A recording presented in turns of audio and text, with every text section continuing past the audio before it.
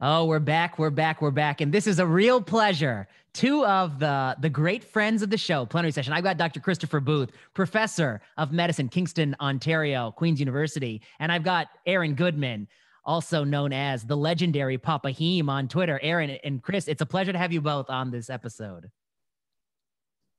Thanks, Vinay. Uh, always a fan of the show, and it's always great to catch up uh, on YouTube and by telephone, and certainly to have Aaron involved in this discussion. This is going to be terrific. So let me let me say the title of your paper. It's out now. Nature Reviews Clinical Oncology. It's called "Practicing on the Edge of Oncology When Standard of Care Feels Uncomfortable." And this is this is really a splendid article, and it really merges, I think, the experiences of a consummate hematologist with a consummate oncologist. And the one-liner, and then I'll let you both kind of take talk about it. But the one-liner I see is there are some things in oncology that we feel pressure to do because a number of our peers do it. But when you look at the evidence, you find the evidence is often lacking and you find yourself a bit of an outlier. We I think we've all felt this to some degree, at least the three of us and maybe many of the listeners. And and it's really about kind of grappling with that space when you don't do or do something that your peers don't do. So why don't I start with you, Chris? Why don't you talk about maybe the feeling you've had, what led you to this, this this example you use in the paper, which is really powerful. Let's let's talk about it. Yeah, thanks, Vinay. So um, trying to think about how I met Aaron, but I think it might have been through you. I think Aaron wrote something about uh, being a junior staff hematologist at a conference or a tumor board and, and feeling a bit uncomfortable because you disagree with, you know, all the experts in the room who are much, you know, older and perhaps wiser than him, although that remains, I guess, to be debated. and it resonated with me. I didn't know Aaron, but I, I think I wrote to you and said, Vinay can you please connect me with this guy, Papa Heme. And, Papa and Heme, Aaron, yeah. and I had a great discussion and realized that while I didn't know anything about lymphoma or dose adjusted chemotherapy, um, I probably don't need to actually, based on what Aaron teaches me. But anyhow, what resonated was uh, what I think he, you know, Aaron really hit the nail on the head when he articulated this feeling of discomfort where you know we pride ourselves in providing high quality evidence-based care that's consistent with guidelines and it's this uncomfortable feeling where um, we don't necessarily agree with the guidelines. And all of us have an uncomfortable feeling when we're doing treatments where there's really no evidence to support. It's a bit of a gray zone. And that's, you know, a context where we just have to use our best clinical judgment. But I think the examples we write about, and I'd be interested for, for listeners um, to your podcast to kind of add to the list, because I'm yeah. sure there's, you know, dozens of other treatments out there where there actually is evidence. And uh, the evidence is very clear. And for some reason, these treatments are still on guidelines and we keep doing them. And maybe we shouldn't be. And I mean, maybe a theme we can come back to is I, I think both for Aaron's example and mine, in the early days, maybe the evidence looked, you know, kind of promising and it maybe made sense that that was a standard practice for a while. But at least for the examples we, we write about, eventually the evidence matures. Um, I think some hoser wrote about this once called medical reversal. But anyhow, the evidence accumulates, and maybe we need to revisit um, what the practices once were. So those are just maybe some introductory comments. Aaron, Aaron, how, what's your recollection about how this came together? Yeah. So uh, again, yeah, thanks for having me back on the show. I love being on. Um, you know, uh, Vinay said us, you know, he, he told me about you, uh, uh, um, that you guys knew each other and that you'd read some of my tweets. And then I read about kind of the stuff you were interested in. And we had an introductory call and where we retold our stories uh, for you, uh, uh, Avastin, which you'll get into, and for me, uh, dose adjusted EPOCH. And uh, it felt good, uh, at least for me as a junior professor, to know that I wasn't alone with these feelings and then other more senior professors and oncologists shared these views. And that's where we started to have the discussion about putting together our, our current paper. And I can at least you know, I can start with, uh, you know, my current example. So yeah, I, I, was, uh, yeah. so I'm a bone marrow transplant hematologist and, um, uh, you know, all throughout fellowship, uh, um, you know, uh, we learn how to treat diseases, but you don't really have, at least for me, you can't really dive into the literature like hardcore like you want to. There's so much to learn and you're learning everything about every disease is you really just want to have a general understanding, learn some kind of algorithms, learn some side effects and, and, and, and then get to practice. And uh, so you, you know, for aggressive lymphomas, mainly diffuse large B cell lymphoma, um, you know, we would treat some with R-CHOP and some with this dose-adjusted uh, uh, regimen called dose-adjusted EPOCH-R. Uh, really briefly, what that is, is it's basically Uh, traditional R-CHOP is every three weeks. I think most oncologists are, are good with it. It has a predictable toxicity profile, fairly convenient for the patient. And um, despite numerous attempts, it is the king uh, uh, uh of, uh, of cancer. I mean, it's then and again never been beaten by anything uh, in the treatment of aggressive B-cell lymphomas.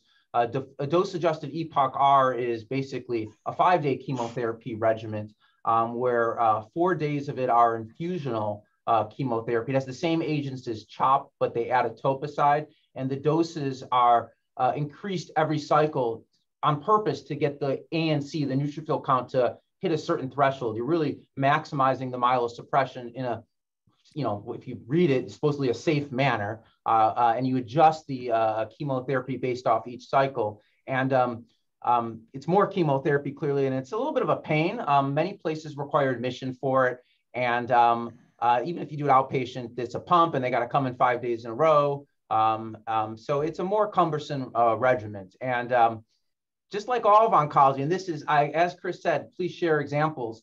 This was studied in phase one and two studies, and this was the bee's knees. I mean, this was the, I mean, this stuff looked promising. I mean, it was dominating lymphoma in these single arm studies. Uh, the response rates were high. Uh, the, the PFS seemed great. The cure rates seemed good. And um, we were happy about it and excited. And we knew that diffuse large B cell lymphoma, kind of like any lymphoma, it's many diseases. And uh, Vinay and I have talked about this. You know, the more we learned about a disease, the more we separate out into different risk categories and we call these new entities.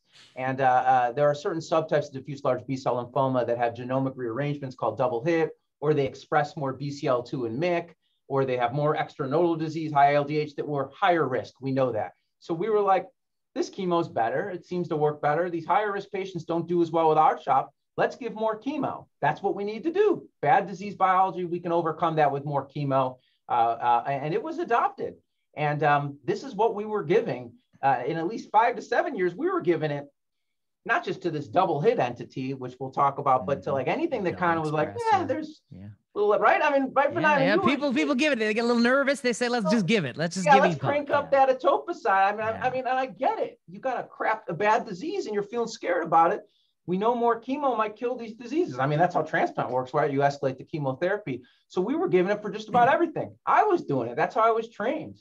Um, and um, we were admitting patients to the hospital at the time, and we were doing it. And then finally, you know, uh, two years ago, or not, might even be three, the CALGB study by Bartlett came out in JCO where they did the randomized study to answer this question, despite many had already thought they knew the answer. Right? We've never seen that before in oncology where we, you know, so so they do the study and they showed no difference in response rate, and they showed no difference in PFS.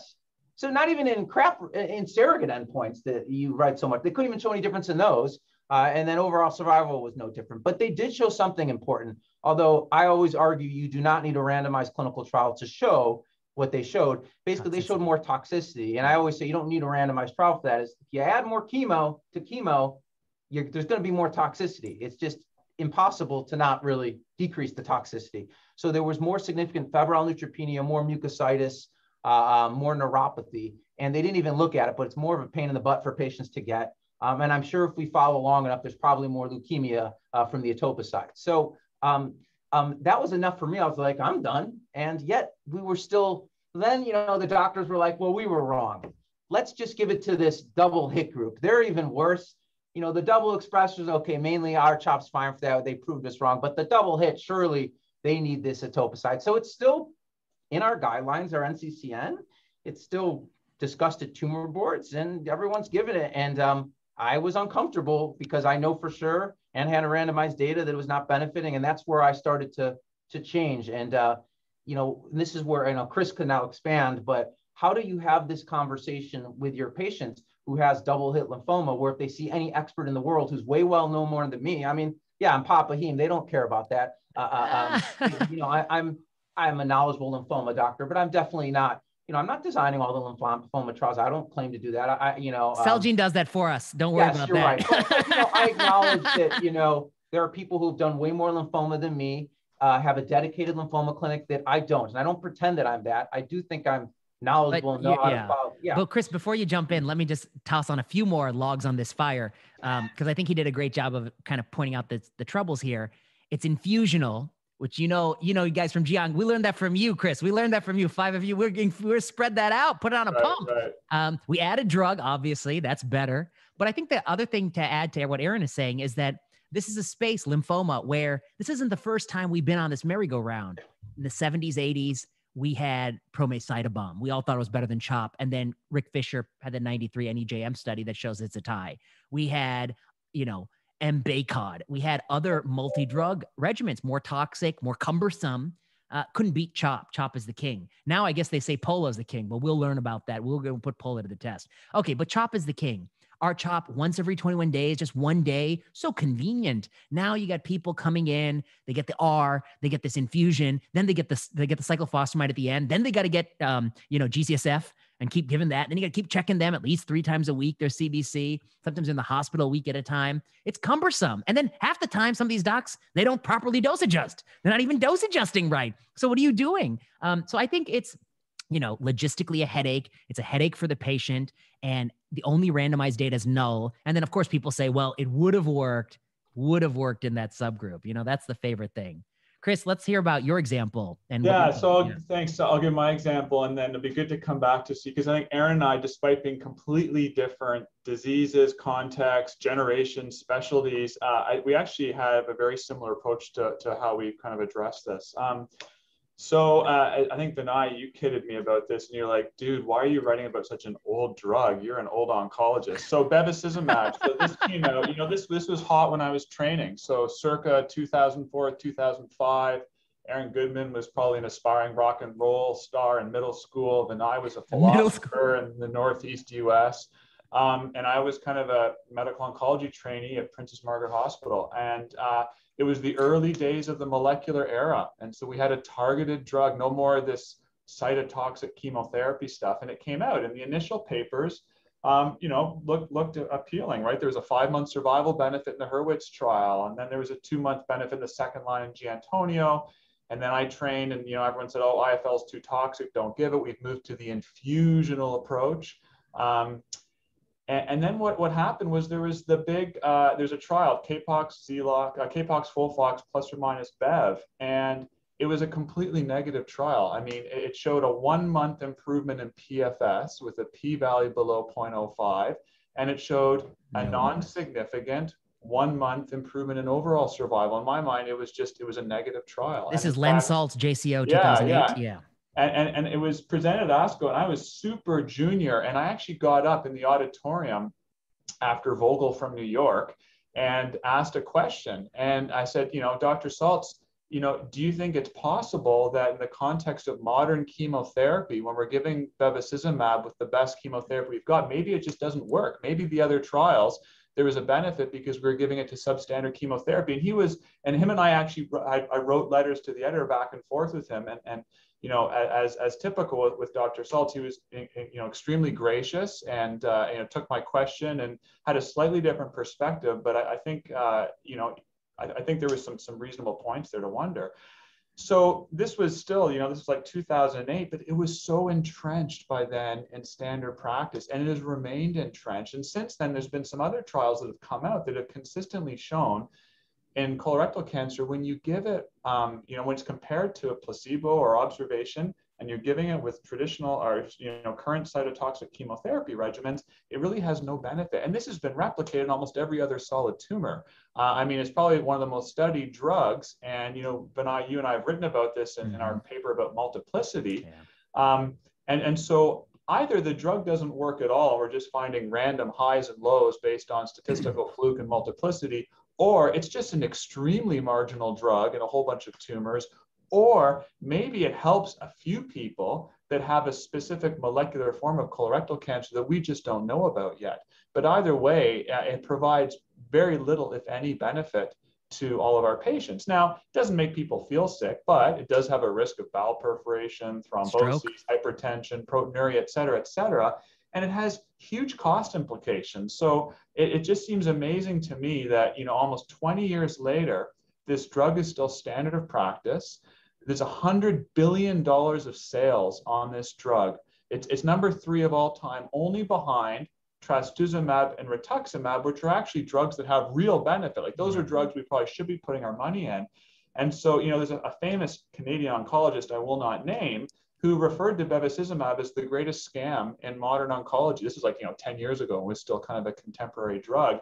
And I think it just became groupthink. We just adopted it and, and we kind of refused to reject it. Um, so when I was really junior, I felt uncomfortable being an outlier and I would look for any contraindication, hypertension, a previous clot, cardiac events, et cetera, and not use it. But, you know, I would use it with other patients. And then as I became more comfortable in my practice and more data emerged, um, I was more willing to be an outlier and, and have, you know, some very honest discussions with patients. Um, and I think that's where kind of Aaron and I converged in our approach. And I do speak with that in a moment. But I guess the other problem with retaining these treatments is, um, you know, they become the backbone of every future clinical trial. So it's like once we have these entrenched in practice, it becomes really hard to get rid of it because everything we do in the future adds on to it. So it, it's a really difficult um, scenario, especially, you know, I, I think uh, at Aaron's stage as being, you know, fairly junior faculty, it, it, actually takes quite a bit of courage to do that. And I think one of the, the reasons that Aaron and I decided to write this was there's, there's going to be people that disagree with our perspectives on the evidence for uh, dose-adjusted EPOCH and bevacizumab, but I think we mostly wrote it just to uh, get this kind of concept out, out in the realm for discussion.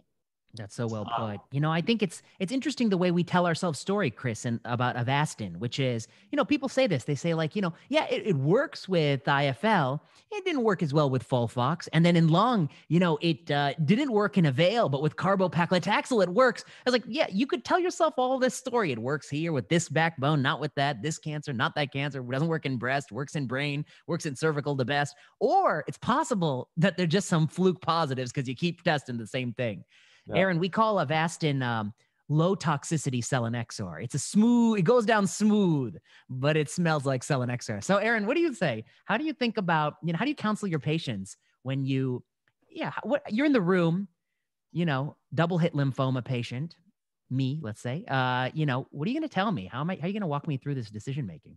Yeah, no, this is hard, and now I've, I've done this, and uh, it's taken some practice, and I, I, you know, now I even try to get the fellows in the room with me when I'm doing stuff like this. They got to um, learn sometime. Yeah, you know, I, I kind of, you know, it's my consent, and I've, I've gotten, I think, you know, something I didn't learn so well in fellowship is how to do a good informed consent, and I take like extreme pride now in my informed consents with patients, uh, um, and uh, you know, I always like starting, and this is how I teach the fellows. I start out with my informed consent is kind of what happens if we do nothing to kind of just really tell our patients what, you know, especially with blood cancers, I'm dealing with pretty aggressive things and we do pretty crazy things in hematologic malignancies. And uh, that, you know, without setting the context of what their disease means, it might seem ludicrous to recommend some of the things that we are. So I always like saying, you know, we do nothing. You know, here's someone with a double hit lymphoma, a very aggressive lymphoma. Um, you're not going to be around probably in a few months. Uh, um, uh, and then I go over what we know. And uh, what we know is that R-CHOP is king in diffuse large B cell lymphoma. Um, but we also know that R-CHOP is suboptimal in double hits. I mean, I, agree, double hits worse. I'm not going to argue with that.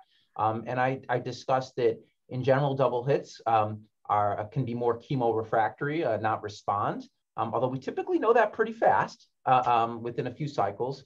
Um, and the relapse rate's much higher, and that the long-term outcomes that you see reported, you know, these 60 to 80% cure rates are much lower in double hit, maybe more like 30 to 50%.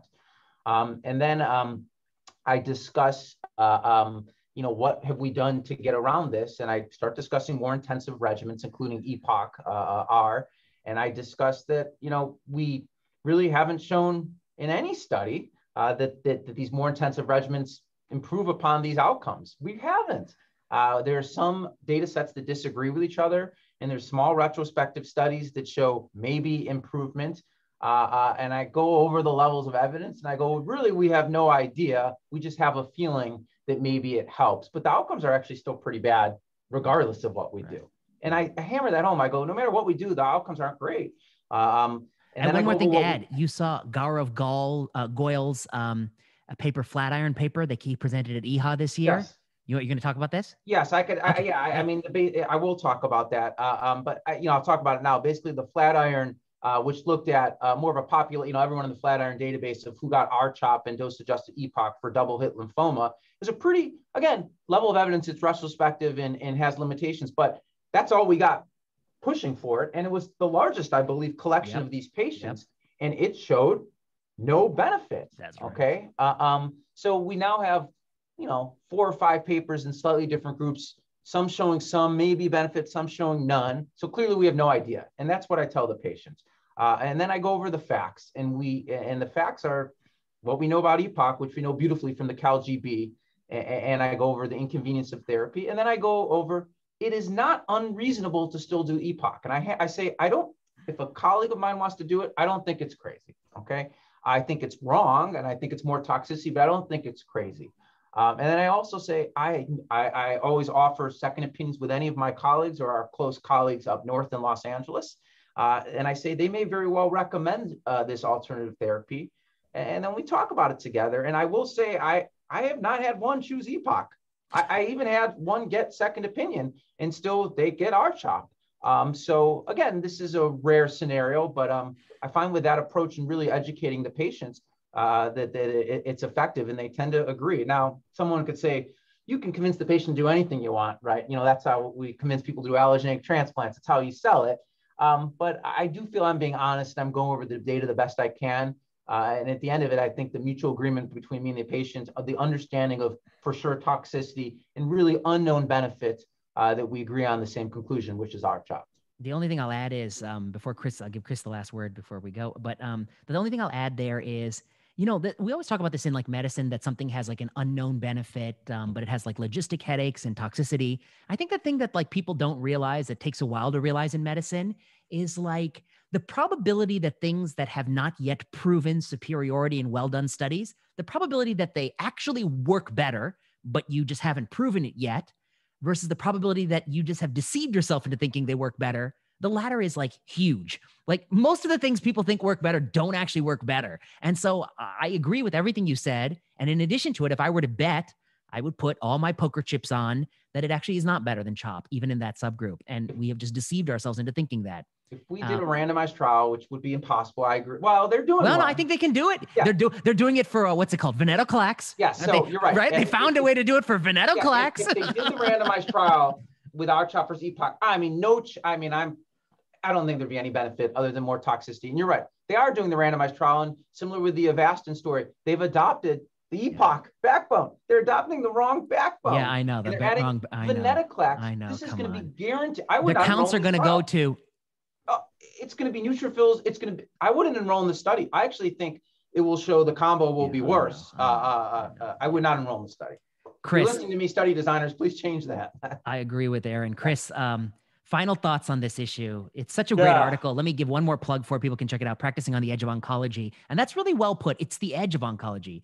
Um, and uh, what are your thoughts on this?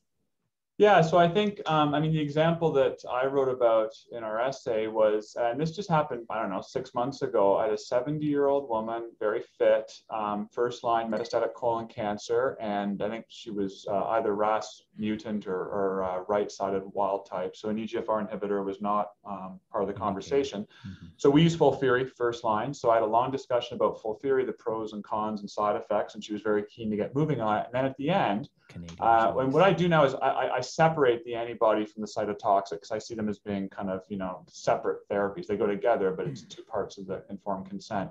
So she was keen to move ahead with FOLFIRI. And then I said, in addition to the chemotherapy drugs, we can add an antibody. And the antibody probably won't make you feel sick.